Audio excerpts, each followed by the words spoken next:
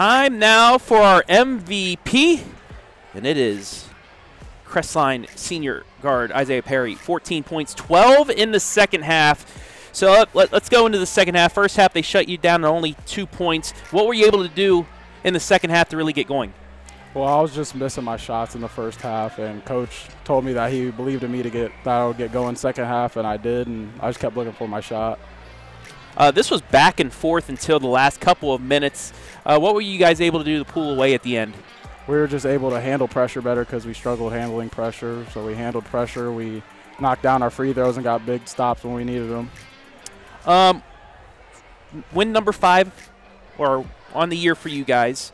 Just uh, what can a win like this, you know, beginning of the new year, do for you guys moving forward? Actually, win number four, but what can this do momentum-wise moving forward? I know you have uh, some conference games coming up. You're three and four in the conference, so you, you have a chance of getting some more wins. Right.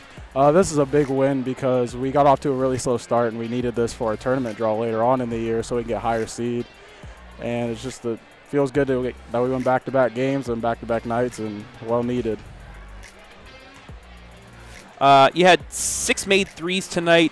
Seems like you guys like to go through, yeah, through that three-point uh, mark, get some rebounds offensively as well, dr- especially going through you, driving, kicking. Just how important is that outside shot for you guys? It's huge because not a lot of us uh, attack off the dribble well, so I know that's my job, and I just trust my guys to hit shots. Like Trevor, he was hitting shots tonight, which helped us keep in the game when I wasn't scoring, so it was nice.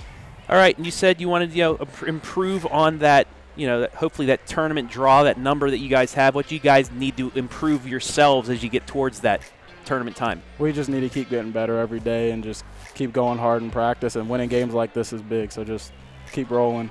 All right. Lastly, if you want to look into the camera, give anybody a shout out that you like, go for it, my friend.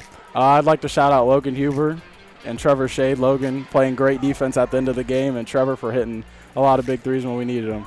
Huber finished with 10 points, Shade with 16, and our MVP Isaiah Perry finishes with 14. Congratulations and good luck the rest of the way. Thank you, sir.